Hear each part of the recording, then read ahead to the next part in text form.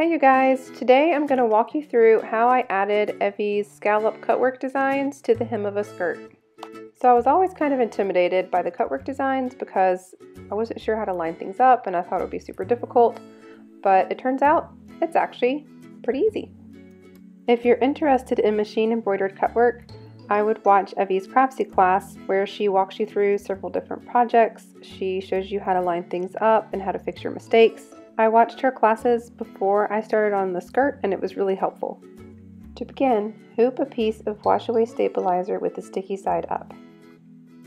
Score the backing paper and tear it away. This is an easy way to keep the sticky residue off your hoop. Make sure you print out your templates. You'll probably need more than one copy of each design so that you can use your templates to plan where the designs will go. You'll need to overlap the designs just slightly, about an eighth of an inch. When you are ready to begin stitching, use your grid to place your first design. You'll just be laying your fabric directly on the stabilizer without actually hooping the fabric.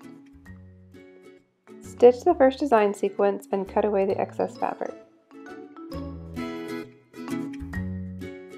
Place another layer of wash-away stabilizer underneath what's already there.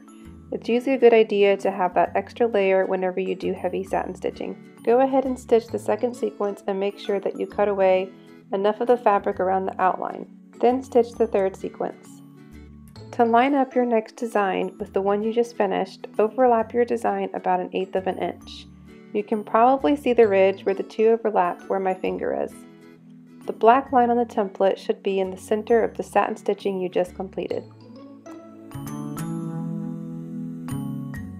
When you begin stitching, always start your next design where the last one ended.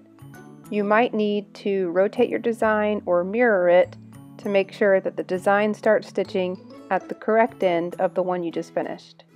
Place your fabric on your hoop stabilizer using your grid. Now here's a very helpful hint. Press start to stitch the first sequence, but stop the machine after the needle moves into the position. You have to be quick.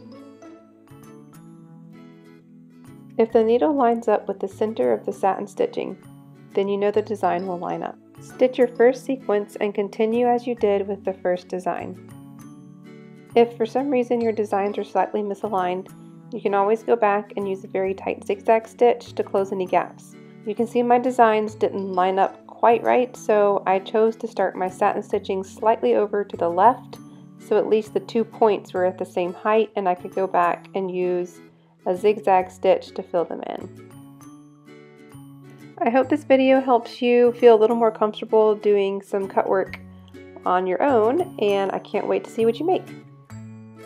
If you're interested in Evie's cut work class on Craftsy, you can go to her website at abitofstitch.com and on the left side there should be a link that says Craftsy classes and that should take you to the site. Thanks for watching.